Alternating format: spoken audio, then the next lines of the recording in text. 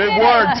It worked. out. We know uh, Parmenter Elementary in Franklin is psyched for the Super Bowl. And how about this of this little fan? She's says she's gonna have a great time rooting for the Pats. And how about Carmine? Yeah, Oh. five days old, ah. already in the Super Bowl spirit. So many great photos in the U Local section of WCVB.com.